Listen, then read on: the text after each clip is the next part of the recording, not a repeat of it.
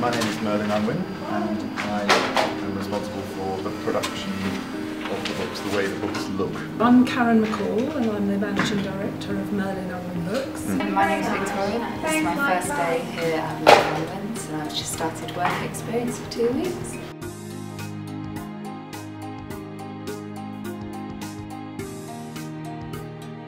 We're a countryside book publisher and we've been publishing for 29 years and this is our busy time of year.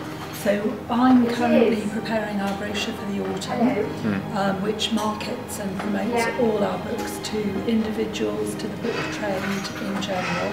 And autumn is our crunch time of year so a lot rides on it. We are specialist publishers as you know. And so a lot of our customers are fishermen, shooters, um, naturalists, people interested in specialist things like bacon curing or mushroom collecting. So we have to make the book absolutely right for that market. And that means getting the editorial content completely right and accurate, checking that, uh, and presenting it in the best possible way.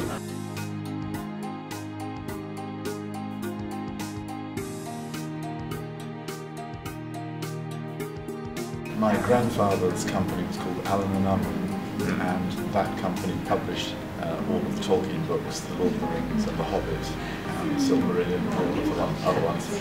And uh, my father was Tolkien's editor, and so he knew Tolkien very well and worked with him on all of the books. And um, as a child, I, I met uh, Tolkien a few times when he came over to um, have Sunday tea in the garden and talk about books with my dad. And so I remember him very fondly. Um, and uh, that's, that, that was before I started work, you know, I was still 10 or 12, I should think about that stage. So, uh, I remember it vividly, but it was before I started publishing myself.